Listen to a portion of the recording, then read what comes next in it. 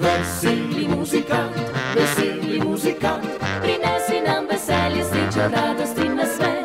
Veseli muzikant, veseli muzikant, za vreska in za boj močno na glas. Veseli muzikant, veseli muzikant, široko nam raztegni, široko nam raztegni, široko nam raztegni zlati dih.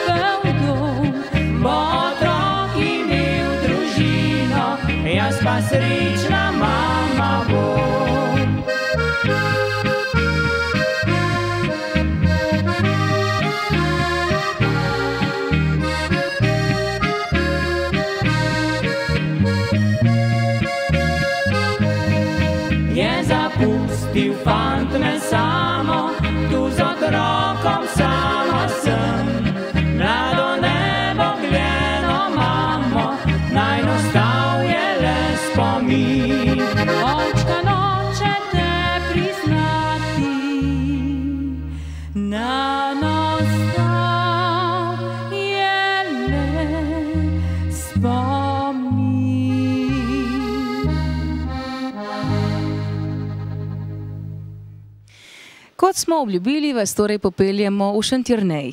Ansambl Frančič so nas zelo gostoljubno sprejeli in o sebi povedali veliko zanimivih stvari. Pa si oglejmo naslednji prispevek.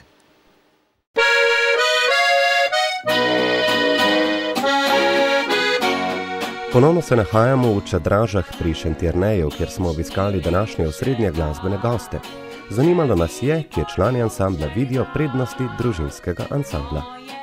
Ja, eh, prednosti, več kot slabosti bi lahko rekel, zato ker smo lepo doma, skupaj smo bili v eni hiši, smo lahko prihajali na vaje, tudi zdaj smo precej eh, bliže. Potem lažje je nekomu, kar nekaj bolj smo si lahko povemo, kaj ne, ti, to ni dobro, da je to drugače za pojne. Eh, vse, smo, vse se zaupamo med sabo, vsi vemo, kako in kaj je.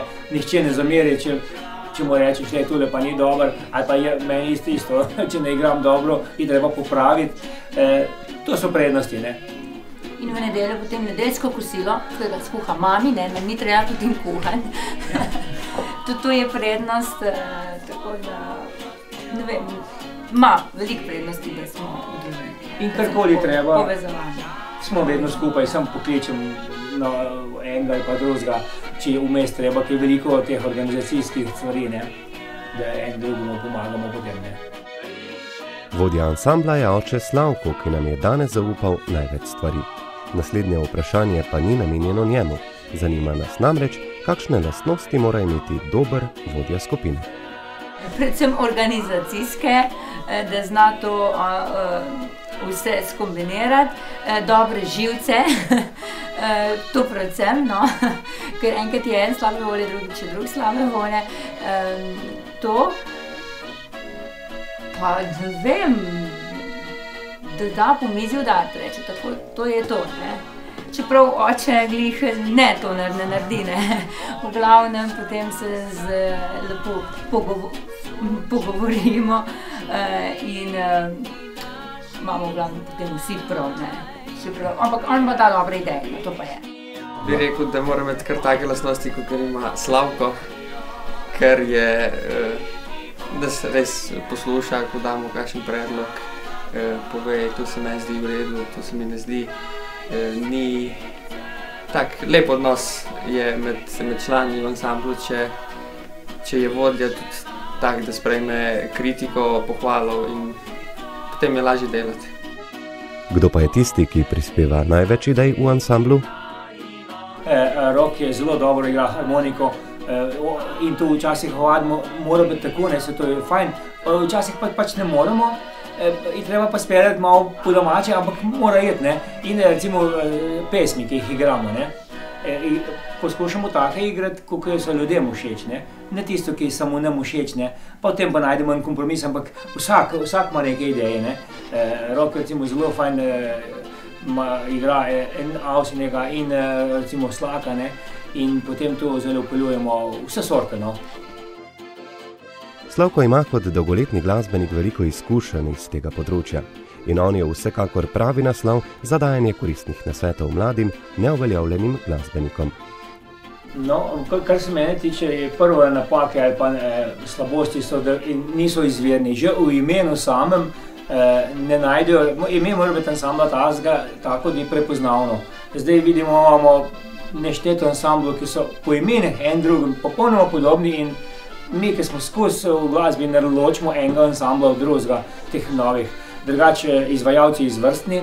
Eh, bolj bi mogli biti pa se pravi izvirni tudi po eh, sestavah, ampak vsi hoče biti podobni z Modrijanom, pa recimo tem, ne, eh, ni pa nekaj izvirnega. Ne. Pa mogoče to, da, jim, da res igrajo srcem, ne, ne samo zato, ker pač, eh, ja. je zdaj to trend igranja, eh, oziroma tudi eh, preko financ, ne? ampak da res igrajo srcem in da to ljudje potem začutijo. Da, je, uh, da ni problem, lahko da igraš tudi za ston, samo da daš to dušo ven ljudem. To. Dobro, mislim, dobro volj, ampak res, da ljudje začutijo, eh, da ni samo zato, pač, ko pravim, in kaj igrajo vsi zdaj, da se recimo, pa večina. Ne?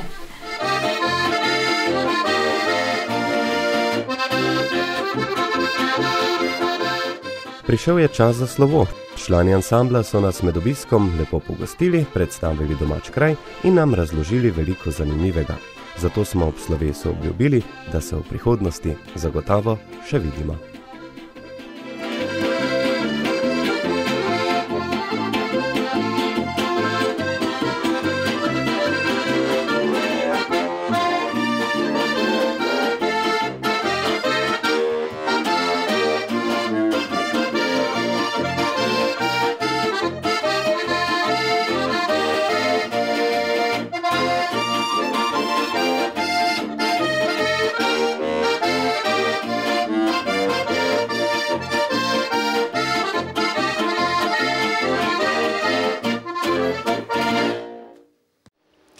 Vrnili smo se iz eh, sončne dolenske, kot smo prej že razčistili, da šentjer ne zagotovo spada tja in da je mm, ta kraj poznan po petelnu, pa da, da, da imajo tam dobro hrano, pa dobro pijačo in da brez cvička ne gre, Slavko. Naša ekipa je uživala, moram priznati. Ja, tako je, pri nas brez cvička ne gre, ker ravno ta naš konc je najbolj šenternejski, je najbolj poznan po cvičku, petelinu, pa tudi po konjskih dirkah. In po Frančičih, ne? Tako, ja, in seveda po nas, ja. No, mi, mi smo kar tri CD-je posvetili eh, našemu šenterneju, vse tri naslovne eh, pesmi, mislim, za CD so bile o šenterneju, o petelinu, in, eh, tako da kar negujemo ta, smo ponosni na naš kraj, ne. Še kakšna značilnost, uh, Branka, uh, ali je to tisto glavno? Petelj in konjske dirke, cviček, dobra hrana ali je še kak Ja, kraj? in dobra glasba. Imamo namreč tudi uh, oktet šenternejski, pa vinogradniški oktet. Uh, potem eh, zelo smo znani tudi po salamah, salamari, salam. Marjada, Marjada, tako. ja, tako imamo tekmovanje. E, po, recimo, tudi moja stara mama e, poje pri aktiv kmečkih ženah, ker zelo dobro pečejo. E, tako In da, tudi pojejo dobro, in ne? Ja. ja, zelo lepo. Eh, Da, v glavnem to, no, pa Ohranjate te pletarje do- je v bližini, ja, kartuzija pletarje, Pa tudi svoj- tako da to. Tudi svoj lurt imamo. Ja, tudi svoj lurt, Ja. ki je v- bil zdaj v Tako, na mesecu zelo maju lepe. zelo aktualen, se eh, nedelje eh, popovdne so maše tam in romanje v lurt. Ja, tako. petje tudi verjetno. Ja. ja, krasno, ne? Vam je pa res lepo v teh krajih. Tako, če kdo pride v Šentjerne, ima res kaj videti, tudi po- ponuditi, ne, tako da dobra hrana in pijača in kaj videti, ne, ker eh, imamo tri turistična društva celo, ne, ki vsaki zase skrbijo tako za, za obiskovalce. Mi smo se pri vas ustavili tudi na vajah, še vedno potekajo na isti lokaciji, kot so tudi leta nazaj. Niste spreminjali kaj? Ne, ker v glavnem smo bili prej doma. Domača, saj, rojstna a, hiša. Tako in zdaj smo tudi blizu, ne. Sin je mečkano stran naredil par metrov stran hišo, hčerka pa 300 metrov, no. tako da, bomo, da imamo, smo spet na Krasno, kupu doma. Zelo, zelo blizu. Še ena prijetna naloga, tudi vaša glasbena izkaznica je pripravljena. Zdaj jih zbiramo, nekaj malo jih bomo dopolnili v 16 eh, in tudi vaša bo prisotna. To je vaša zgoščenka, mlada žena in njen naslov. Krasno, eh, še vedno zelo mlada žena. Ne? Ja. Ja, še katere skladbe, ki bi jih omenili, da jih je vredno slišati na tej zgoščenki? Ja, tukaj gor so eh, za, za konjske težave novorojenček, Novorojenček. ki je bila posvečena eh, najnim otrokom. Eh, potem eh, Spomin na Božič, na Božič, zelo lepa tako. pesem, ja. Torej, več kot vredno poslušanje Tako, in tako, nekdo ja. izmed naših gledalk in gledalcev, ki bo izžreban ob koncu naše sezone, bo tudi lasnik tegale. Hvala lepa vsem trem in četrtemu, ki se skriva zadaj.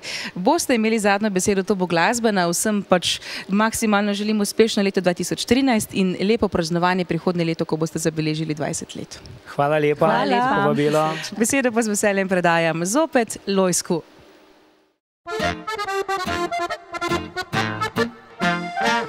Jaz sem tako srečen, da imate to oddajo vi na NetTV. A dobri ste vi tudi, dečki, kamera vam je lepa. A malo bi se lepše lahko oblekli, kad prijete na obisk. To bi bilo dobro, ne, kad v starih škorjah, da dođete snemat. To je malo čudno, ne, ker jaz imam lepo tu nareto. A dobro, veste kaj, zdaj vam moram tudi to povedati. Kaj veliki ljudi to ne vejo, i stari ljudi smo mi malo bolj pametni, a mi vemo kaj to. Je en dobra, dobra šala i dobro narodno tako vam je zapovedati. Evo, vam bom jaz razložil. A vi veste zakaj petelin kikirika? A ste se malo vprašali, zakaj tako zgodaj kikirika? E pa zato zgodaj kikirika, kako se kure zbudijo, ne mre priti do besede.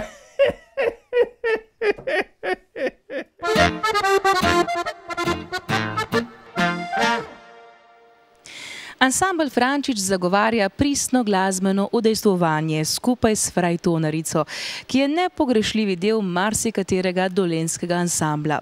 Prav s to glasbo razveseljujejo tudi mnoge mlade poročence in svate, ki se veselijo v poročnih nočeh. Kako zazvenijo naši današnji gostje, ste se že lahko prepričali in jih slišali. In zagotovo je čas, da jim prisluhnemo znova.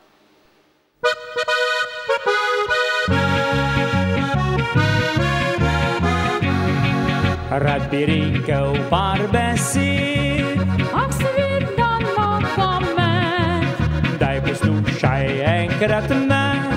prav dom tvoja žene, teta grem na kavico. Čenči ti servirajo, Pojdi, dragi, se solit, šel s prijatelji bom pit. reci, dragi, par besed, časi zaklepe, on pa tiho kar moči, tiho jaz se kaj jezi.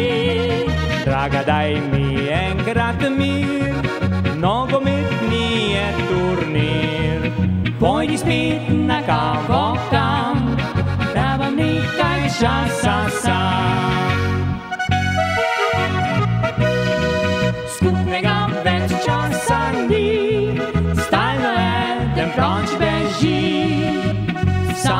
Po svoje krpava, zakonske vezi.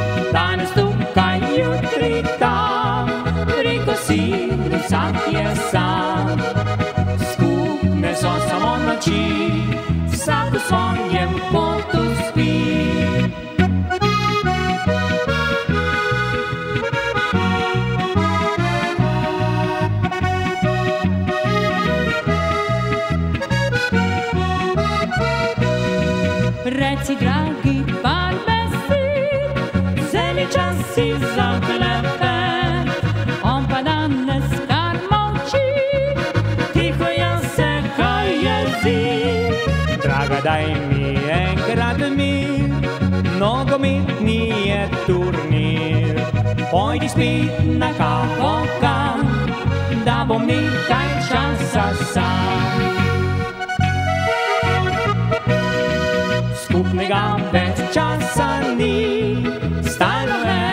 Proč beži. Sam po svoje krpava, zakonske vezi. Danes tukaj, jutri tam, preko si vsak je sam. Skupne so samo noči, vsak v svojem kotu spi. Skupne so samo noči, vsak v svojem kotu spi. Pred nami je ogled zadnje postave štirih mladih ansamblov meseca junija. Še enkrat si oglejmo njihove glasbene izvedbe. Svoj glas ansambl, za katerega menite, da zares ima glasbeni potencial, lahko date na nič 9 nič 6767 in pritisnete zaporedno številko 1 za ansambl Ponos, številko 2 za ansambl Poskok, številko 3 za ansambl Gorenski zvoki in številko 4 za ansambl Češnjev cvet.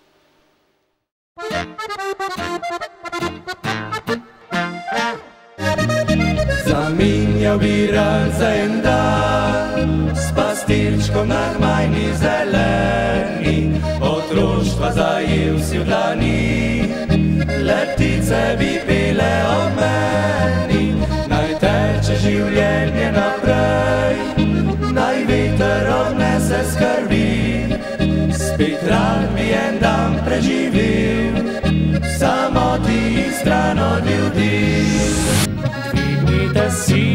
sidra in gremo naprej.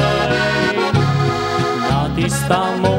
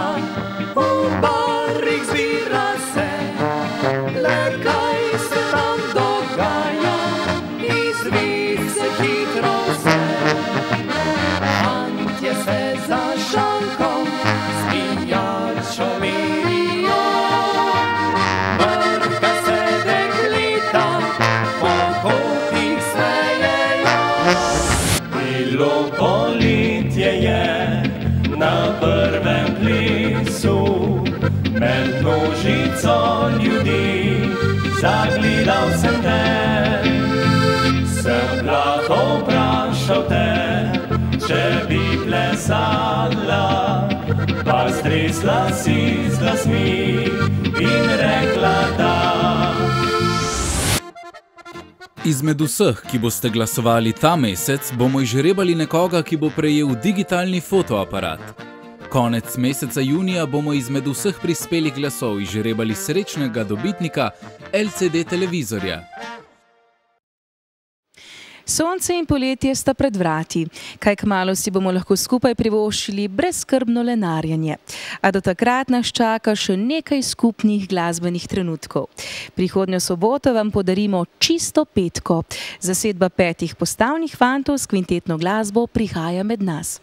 Vam, spoštovane gledalke in gledalci, pa želimo, da se skupaj snidemo in preživimo še en nepozaben glasbeni večer. Pa lahko noč.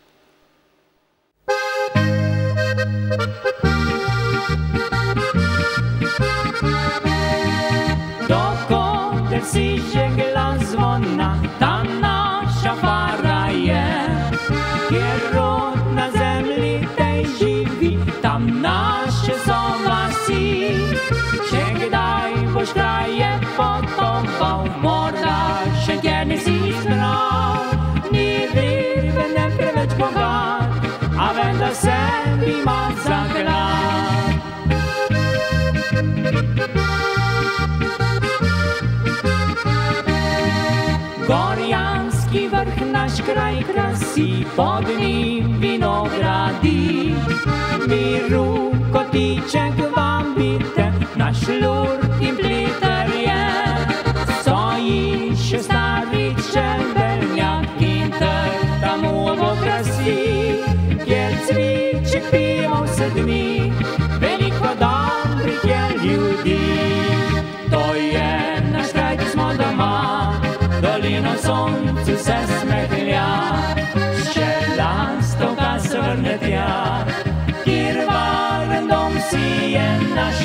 poletja konj se veseli, za dirko zbira si moči, se vabimo vse v gosti, še tjeren vas pozdravlja vse.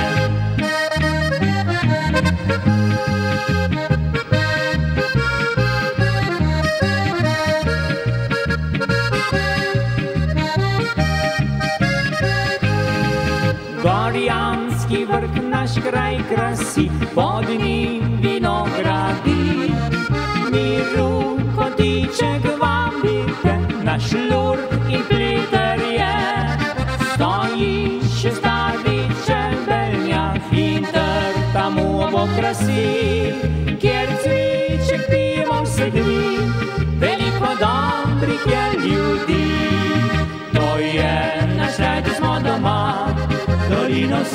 Soncu se smehlja, še lastovka se vrne tja, kjer varen dom si je našla, poletja konj se veseli, za dirko zbira si moči, sem vabimo vse v gosti, še tjeren vas pozdravlja vse, sem vabimo vse v gosti, pred jelen vas pozdravlja vse.